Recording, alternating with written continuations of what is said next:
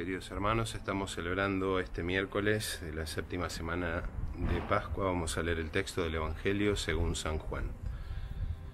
Jesús levantó los ojos al cielo y oró diciendo, Padre Santo, cuida en tu nombre a aquellos que me diste, para que sean uno como nosotros. Mientras estaba con ellos, cuidaba en tu nombre a los que me diste, yo los protegía y no se perdió ninguno de ellos excepto el que debía perderse, para que se cumpliera la escritura. Pero ahora voy a ti, y digo esto estando en el mundo, para que mi gozo sea el de ellos y su gozo sea perfecto. Yo les comuniqué tu palabra, y el mundo los odió, porque ellos no son del mundo, como tampoco yo soy del mundo. No te pido que los saques del mundo, sino que los preserves del maligno. Ellos no son del mundo como tampoco yo soy del mundo. Conságralos en la verdad. Tu palabra es verdad. Así como tú me enviaste al mundo, yo también los envío al mundo. Por ellos me consagro para que también ellos sean consagrados en la verdad.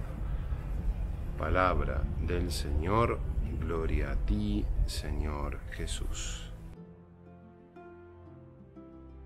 Este texto que acabamos de escuchar, queridos hermanos, forma parte de la conocida oración sacerdotal de Jesús que dirige al Padre.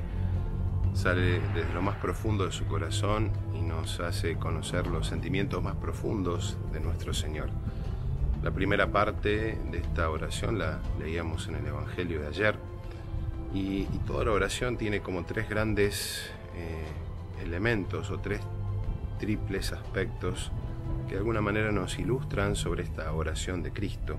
En primer lugar, sirve para revelar la gloria del Padre, porque Cristo, obedeciendo al designio redentor de Dios, da a conocer al Padre. Esta es la misión principal de Jesús, dar a conocer al Padre, que nosotros conozcamos al Padre. ¿Quién es ese Padre amoroso que ha sido capaz de entregar a su propio Hijo para salvarnos, para dar el rescate que merecía nuestros pecados y así poder salvarnos de la muerte. En segundo lugar, manifiesta la divinidad de Cristo a través de su humanidad. Esta divinidad que estaba oculta, que nadie la podía ver, se manifiesta en esta actitud que tiene Jesús. Jesús enseña su divinidad a través de su humanidad. Cualquiera que veía a Jesús veía un hombre pero sin embargo los signos que realizaba daban testimonio de lo que era y particularmente esa gloria que va a recibir en qué momento, en el momento de la pasión, la muerte y la resurrección. Y por último, nos ofrece a los hombres la posibilidad de alcanzar la vida eterna, la cual redunda en glorificación del Padre y de Jesucristo. Esa gloria eterna que es el fin que todos anhelamos alcanzar, no es otra cosa que la glorificación de Dios Padre y la glorificación de Jesús. ¿Qué es lo que hizo Jesús en la cruz? Glorifica a tu Hijo. ¿Y cómo el Hijo glorifica al Padre? Sufriendo la pasión, sufriendo la muerte y resucitando por nosotros. Nosotros también estamos llamados en nuestra vida a glorificar al Padre. ¿Y cómo glorificamos al Padre? También tomando la cruz de cada día y siguiendo sus pasos. La segunda parte de la oración, el Evangelio que acabamos de escuchar, nos presenta a Jesús rezando por sus discípulos, para que sean uno, para que se mantengan fieles en la verdad, para que estén unidos a Cristo, para que el demonio y el mundo no tengan poder sobre ellos, porque Jesús se va, pero los discípulos quedan en el mundo para que el Señor los preserve y los mantenga fieles a la auténtica verdad. Jesús entregó su vida por amor a nosotros, se entregó por completo al Padre. Y nosotros también tenemos que ser capaces de entregar nuestra vida a ese Dios que se entregó por nosotros. Aprovechemos en este día de manera especial con esta oración tan bella que nos presenta el Evangelio a comprender ese amor infinito y misericordioso que tiene Dios por nosotros, ese corazón sacerdotal de su Hijo nuestro Señor Jesucristo.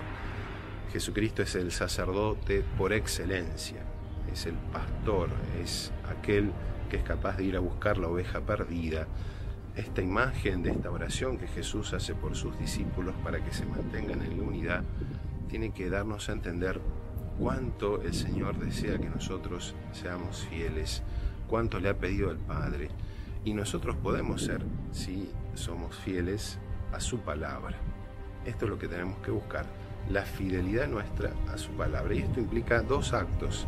En primer lugar, la escucha, escuchar la palabra de Dios, escuchar lo que Dios tiene que decir. Y en segundo lugar, que esa palabra que he escuchado produzca efecto en mí.